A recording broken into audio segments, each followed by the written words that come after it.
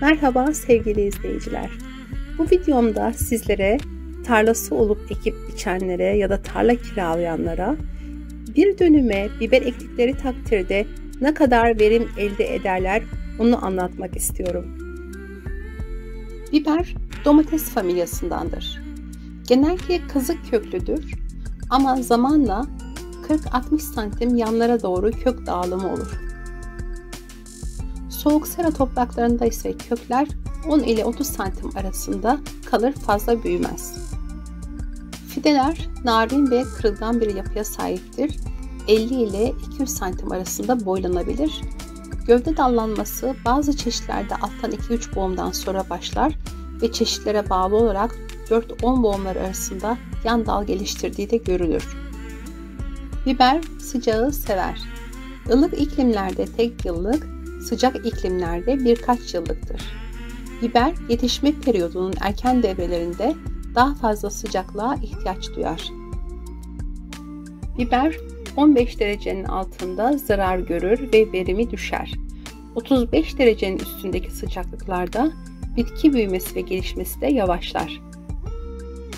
Gelişme gündüz sıcaklığı 21-26 derece, gece sıcaklığı 15-17 derece olduğunda iyi olur. Gündüz sıcaklığı 32-35 derece ve gece sıcaklığı 15 derecenin altında görüldüğünde bitki büyümesi yavaşlar ve döllenme aksar. Biber fidelerin toprakları hiçbir zaman susuz bırakılmamalıdır. Toprakta devamlı %60-%70 nem bulunmalıdır. Sudan hoşlanması yanında fazla suya karşı kökler duyarlıdır. Çabuk çürür ve hastalanır. Gelelim dikim aralıklarına. Biber fidesi 30 santime 60 santim aralıklı dikim yapılır. Yani bir dönüme ortalama 5500 kadar bitki ekilir. Sera yetiştiriciliğinde ise 2500 ile 3500 arası fide ekilir.